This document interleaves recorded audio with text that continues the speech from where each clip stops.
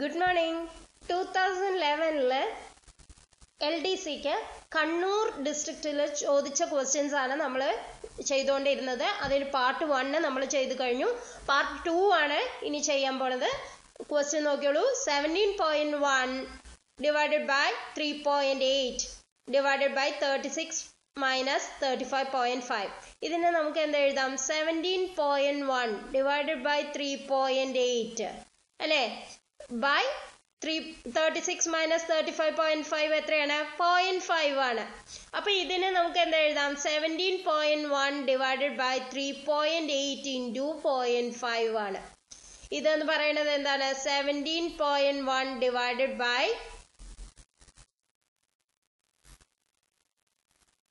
one point nine അല്ലേ? ഇതിൽ നോക്കൂ പോയിന്റ് കഴിഞ്ഞിട്ട് ഒരു സ്ഥാനം ഇവിടെയും പോയിന്റ് കഴിഞ്ഞിട്ട് ഒരു സ്ഥാനം. നയന്റീൻ ഇന്റു എത്രയെങ്കിലും ആണ് one seventy one nineteen into എന്താണ്?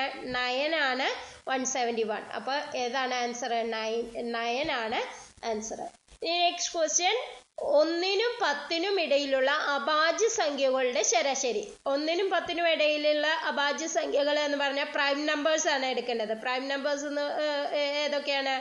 ടു ത്രീ ഫൈവ് സെവൻ അപ്പൊ ഇതിന്റെ തുക എത്രയാണ്? ടോട്ടൽ എത്രയാണ്? സെവന്റീൻ ആണ് അല്ലെ? ഡിവൈഡ് ബൈ എത്ര എണ്ണം ഉണ്ട് നോക്കൂ? ഫോർ എണ്ണം. അപ്പൊ ഇതിന് എന്താണ് വരിക? ഇതാണ് ആവറേജ് ആവറേജ് എന്ന് പറയുന്നത് സെവന്റി ഡിവൈഡ് ബൈ ഫോർ അതെന്ന് പറയുന്നത് എത്രയാണ്? ഫോർ പോയിന്റ് അല്ലെ? സിക്സ്റ്റീൻ വന്നു പോയിന്റ് ഇട്ടു. ടെന്നിൽ ടു വന്നു. ട്വന്റിയിൽ ഫൈവ് വന്നു. ഫോർ പോയിന്റ് ടു ഫൈവ് ഇതാണ് ആൻസർ നെക്സ്റ്റ് ക്വസ്റ്റ്യൻ നോക്കാം. ക്വസ്റ്റ്യൻ വായിക്കാം. എയും ബിയും ഒരു ജോലി പത്ത് ദിവസം കൊണ്ട് തീർക്കും. ബിയും സിയും അതേ ജോലി പന്ത്രണ്ട് ദിവസം കൊണ്ട് തീർക്കും. സിയും എയും അതേ ജോലി പതിനഞ്ച് ദിവസം കൊണ്ട് തീർക്കും. എങ്കിൽ എയും ബിയും സിയും ചേർന്ന ആ ജോലി എത്ര ദിവസം കൊണ്ട് തീർക്കും? ഇപ്പൊ നമുക്ക് പറഞ്ഞിരിക്കുന്നത് എയും ബിയും അല്ലെ? എ പ്ലസ് ബി എന്ന് പറയണത് അപ്പൊ ഒരു ദിവസം എ പ്ലസ് ബിയുടെ ഒരു ദിവസത്തെ ജോലി എന്ന് പറയുന്നത് എത്രയാണ്? വൺ ബൈ ടെൻ ആണ്. ഇനി ബിയും സിയും അതിന്റെ ഒരു ദിവസത്തെ ജോലി എന്ന് പറയുന്നത് ബി പ്ലസ് സി എന്ന് പറയുന്നത് വൺ ബൈ ട്വൽവ് ആണ്. ഈ എയും സിയും ആവുമ്പോഴോ ഒരു ദിവസത്തെ ജോലി എന്ന് പറഞ്ഞാൽ വൺ ബൈ ഫിഫ്റ്റീൻ ആണ്. അപ്പൊ ഇതെല്ലാം കൂടി കൂട്ടിയാലോ? Twice A plus B plus C ചെയ്യണ ജോലി കിട്ടും. അല്ലെ? ഒരു ദിവസത്തിലെ ചെയ്യണ ജോലി. അതെന്ന് പറയുന്നത് എത്രയാണ്? One by ten plus one by twelve plus one by fifteen ഇതിന്റെ എൽ സി എം എന്ത് വരും? സിക്സ്റ്റി വരും അല്ലെ? Six plus five plus four divided by sixty fifteen divided by sixty fifteen divided by sixty എന്ന് പറഞ്ഞാൽ എന്താണ്? One by four അപ്പൊ A plus B plus C ഒരു ദിവസം ചെയ്യുന്ന ജോലി എത്രയാണ്? വൺ ബൈ ഫോർ ഇവിടെ ഉണ്ട്. അപ്പൊ ടു അങ്ങോട്ട് പോയാൽ വൺ ബൈ എയ്റ്റ് അപ്പൊ A plus B plus C ഒരു ദിവസം ചെയ്യണ ജോലിയാണ് one by eight one by eight അപ്പൊ നമുക്ക് എത്ര ദിവസം വേണ്ടി വരും അവർക്ക് ആ ജോലി ചെയ്യാൻ? എയ്റ്റ് ഡേയ്സ് വേണ്ടി വരും. അപ്പോൾ സി ആണ് ആൻസർ ഇനി നെക്സ്റ്റ് ക്വസ്റ്റ്യൻ നോക്കൂ. മണിക്കൂറിൽ എഴുപത്തിരണ്ട് കിലോമീറ്റർ വേഗതയിൽ ഓടുന്ന നൂറ്റി അമ്പത് മീറ്റർ നീളമുള്ള തീവണ്ടി ഇരുന്നൂറ്റമ്പത് മീറ്റർ നീളമുള്ള പാലം കടക്കാൻ എത്ര സെക്കൻഡ് വേണം? അപ്പൊ സെക്കൻഡിലാണ് ചോദിച്ചേക്കുന്നത് അപ്പൊ നമുക്ക് എന്തായാലും വേഗതേനെ എന്ത് ചെയ്യാം?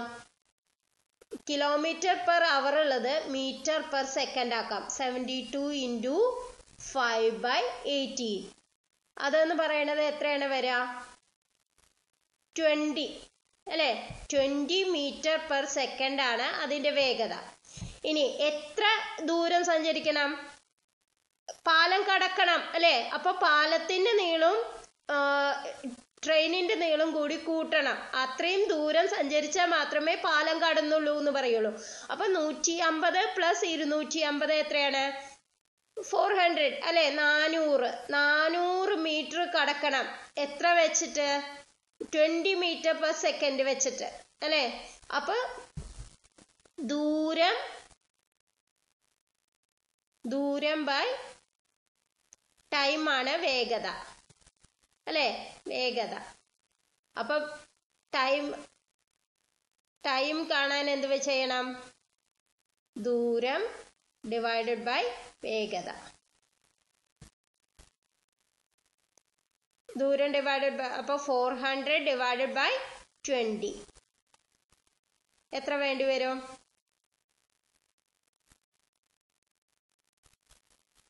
ട്വന്റി ട്വന്റി സെക്കൻഡ് വേണ്ടി വരും. നെക്സ്റ്റ് ക്വസ്റ്റ്യൻ നോക്കാം. ക്വസ്റ്റ്യൻ വായിച്ചോളൂ. മോഹൻ ഇരുപതിനായിരം രൂപ. പത്ത് ശതമാനം നിരക്കിൽ ഒരു ബാങ്കിൽ നിക്ഷേപിക്കുന്നു. ബാങ്ക് അർദ്ധവാർഷികമായിട്ടാണ് പലിശ കണക്കാക്കുന്നത് എങ്കിൽ ഒരു വർഷം കഴിഞ്ഞ് എത്ര രൂപ പലിശ കിട്ടും? അപ്പൊ അർദ്ധവാർഷികമായിട്ട് പലിശ കണക്കാക്കുമ്പോൾ നമ്മൾ എന്താണ് പെർസെന്റേജ് എന്ന് പറയുന്നത്? ഫൈവ് പെർസെന്റേജ് ട്വന്റി തൗസൻഡ് അല്ലേ? ഇന്റു ഫൈവ് പെർസെന്റേജ് അപ്പം one zero five divided by hundred അങ്ങനെ രണ്ട് പ്രാവശ്യം. One zero five divided by hundred അല്ലെ? അർദ്ധവാർഷികമായിട്ടാണ് കണക്കാക്കണേ എന്ന് പറയുമ്പോൾ നമ്മൾ എന്ത് ചെയ്യണം? ഈ നിരക്കിനെ ഡിവൈഡഡ് ബൈ ടു ചെയ്യണം. അപ്പോൾ ഫൈവ് പെർസെന്റേജ് ആണ്. ഓരോന്നിനും. അപ്പോൾ നമുക്ക് എന്താണ്? One plus R by hundred whole to N ആണ് P into one plus R by hundred whole to N ആണ് അതിന്റെ വാക്യം കൂട്ടുപലിശ കാണാനുള്ളത്. അപ്പോൾ one plus R by hundred എന്ന് പറയുന്നത് തന്നെയാണ് ഞാൻ one zero five divided by hundred എന്നിട്ട് അങ്ങനെ രണ്ട് പ്രാവശ്യം അല്ലേ? അർദ്ധവാർഷികമാകുമ്പോൾ ഒരു വർഷത്തിൽ രണ്ട് പ്രാവശ്യം കിട്ടും. അപ്പോൾ twenty thousand into one zero ഇരുപതിനായിരം ഇന്റു നൂറ്റി അഞ്ച് ബൈ നൂറ് ഇന്റു നൂറ്റി അഞ്ച് ബൈ നൂറ്. ഇത് എത്ര വരും നോക്കൂ. ഇവിടെ വരുമ്പോൾ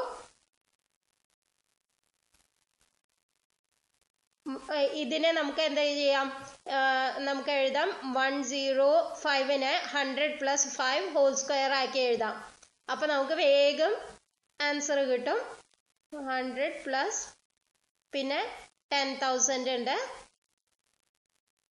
ടെൻ തൗസൻഡ് ടെൻ തൗസൻഡ് ഉണ്ട്. പിന്നെ തൗസൻഡ് ഉണ്ട്. പിന്നെ ട്വന്റി ഫൈവ് ഉണ്ട്. അപ്പോൾ eleven thousand twenty five eleven thousand twenty five into എത്രയുണ്ട്? ഇവിടെ ടു ഉണ്ട്. ഇന്റു ടു എത്ര വരും?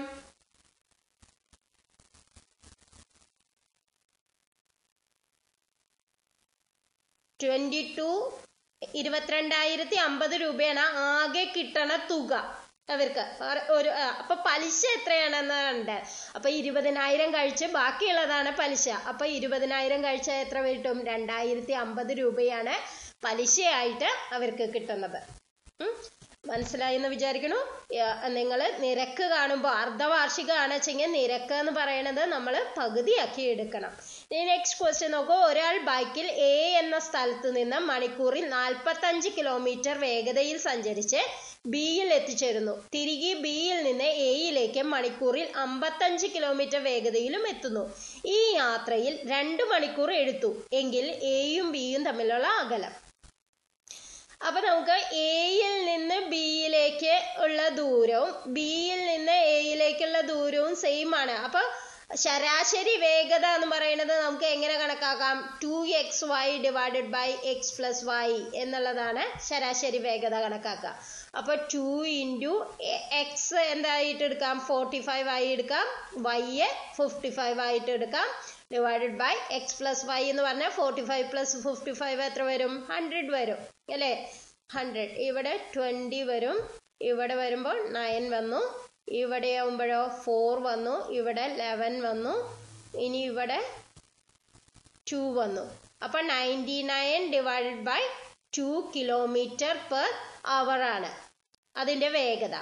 ഇനി രണ്ട് മണിക്കൂർ എടുത്തു എന്ന് പറയണത് രണ്ട് ഭാഗത്തേക്കും കൂടിയിട്ടാണ്. അപ്പം ഒരു ഭാഗത്തേക്ക് തന്നെ ഒരു മണിക്കൂറേ എടുത്തുണ്ടാവുള്ളൂ. അപ്പോൾ എത്രയാണ്? എത്ര കിലോമീറ്റർ ആണ് അത്? Ninety nine by two kilometre അതായത് forty nine point five kilometre ആണ് അവ തമ്മിലുള്ള അകലം. ഇനി നെക്സ്റ്റ് ക്വസ്റ്റ്യൻ നോക്കാം. ലഘൂകരിക്കുക. Nine square into twenty seven square into three divide by three raise to twelve ഇതെന്ന് പറയണത് എന്താണ്? നയൻ സ്ക്വയറിനെ നമുക്ക് എന്ത് എഴുതാം? ത്രീ സ്ക്വയർ ഹോൾ സ്ക്വയർ എന്ന് എഴുതാം. ട്വന്റി സെവനെ എഴുതി എഴുതാം. ത്രീ ക്യൂബ് എന്ന് എഴുതാം. ഹോൾ സ്ക്വയർ എന്ന് എഴുതാം. ട്വന്റി സെവൻ സ്ക്വയറിനെ ഇനി ഇതിനെ എന്ത് എഴുതാം? ത്രീ എല്ലാതും ത്രീയിലാക്കി ഞാൻ ത്രീ റേസ് ടു ട്വൽവ് ഇതെന്ന് പറയുന്നത് എത്രയാണ്? Three raise to four into three raise to six into three divided by three raise to twelve ഇതെന്ന് പറയുന്നത് എന്താണ്?